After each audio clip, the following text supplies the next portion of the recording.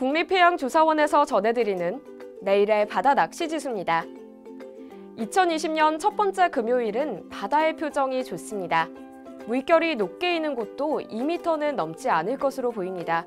다만 동해안과 남해안에서 바람이 강하게 불 때는 초속 10에서 11m로 불겠습니다. 참고하셔서 채비하시기 바랍니다. 금요일은 낚시 포인트 선정이 관건이겠습니다. 다양한 지수 보이고 있는데요.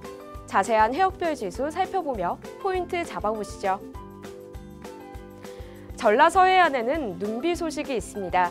금요일 새벽부터 아침까지 예상되니까요. 오전은 피하셔서 출조 계획 세우시는 것이 좋겠고요.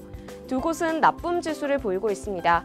그중 가거도는 물때 지수와 수온 지수가 좋지 않아 대상어를 낳기엔 역부족이겠고요. 신시도도 우럭을 낳기엔 수온이 매우 나쁩니다.